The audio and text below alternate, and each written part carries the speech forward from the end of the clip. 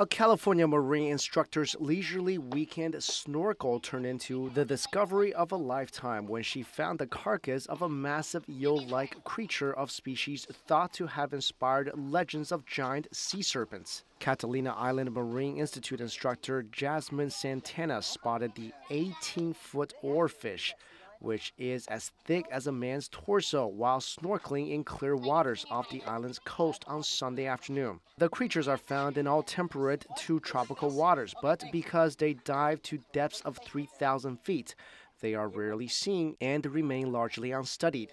Little is known about their behavior. Oarfish have a pug face, a crest running the length of their bodies, and a skeleton of bone rather than cartilage common to fish species like sharks. They can grow up to lengths of 56 feet. Because of their strange appearance, they are believed to have inspired legends of giant sea serpents. It took a group of 15 adults to pull the fish's massive carcass up to the beach for a better view. The body of the fish appeared almost perfectly intact.